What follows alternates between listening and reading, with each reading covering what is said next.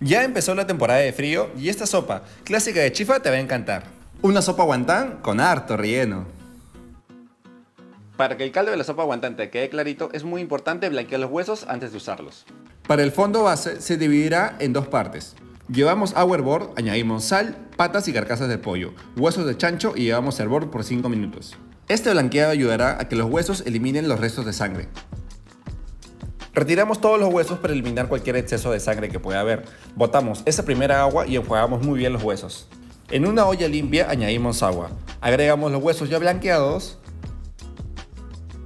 Dos trozos de quión pelados y machacados para que boten aroma en el caldo. Medio atado cebolla china cortada a la mitad. Tapamos y dejamos cocinar a fuego bajo por dos horas. Muchas veces cuando vamos a un chifá nos encontramos que los guantanes tienen poco relleno. En esta parte te enseñaré a cómo rellenarlos de manera correcta.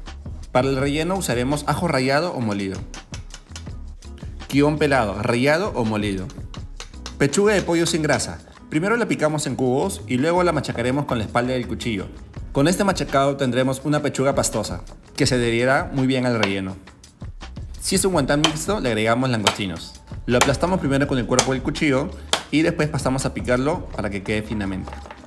Añadimos todo en un bol y agregamos ajo, guion, cebolla china parte blanca, sal, pimienta negra recién molida, aceite de ajonjolí.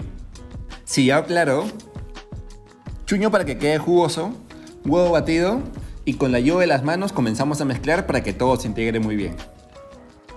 Una vez integrado, volteamos contra el bol para retirar el exceso de aire del relleno. Disponemos una cucharadita de relleno al centro de la masa del guantán. Pincelamos con huevo los bordes de la mitad de la masa. Unimos formando un triángulo sin que llegue a tocar la punta del guantán. Cerramos de costado a costado empujando el aire hacia afuera para que al momento de freírlas estas no se revienten.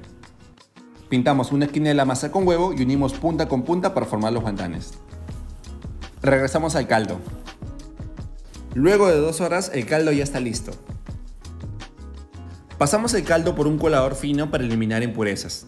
Para convertir el caldo en sopa guantán añadimos sal al gusto. Después, cortamos pechuga de pollo sin grasa en láminas delgadas. Puedes usar como referencia este corte en diagonal. Añadimos el pollo dentro del caldo ya caliente. Después, champiñones cortados en cuartos, jolantado limpio, mezclamos bien y listo. En una olla aparte calentamos agua, agregamos sal y cocinamos los guantanes por 3 minutos. Esto lo hacemos para que el caldo de la sopa guantán se mantenga transparente y sin sabor a harina cocida. Luego de los 3 minutos escurrimos muy bien y reservamos. En la misma olla añadimos una porción de fideos para chifa y los cocinamos durante 2 minutos. Para servir, en un bol grande agregamos fideos en la base. Una porción de guantanes ya cocidos. Bañamos con el caldo power y las verduras en su punto. Recuerda que siempre debemos agregar el caldo humeando para mantener caliente los ingredientes y llegue caliente a la mesa. Para que sea una sopa guantán especial añadimos chancho asado, pato asado, huevos de codorniz y para darle aroma su toque de aceite de ajonjolí y cebolla china picada finamente. Nuestra sopa guantán ya está lista, queda perfecta con esta temporada de frío, así que anímate a probarla en casa y nos cuentas qué tal te quedó. Así que ahora, antes que se enfríe, le iré a meter cuchara. Una buena sopa guantán siempre se toma con una cuchara grande y súper caliente. Mmm, sabroso. Para más recetas no se olviden de visitarnos en Instagram, Facebook, TikTok y YouTube. Conmigo, hasta la próxima. Nos vemos.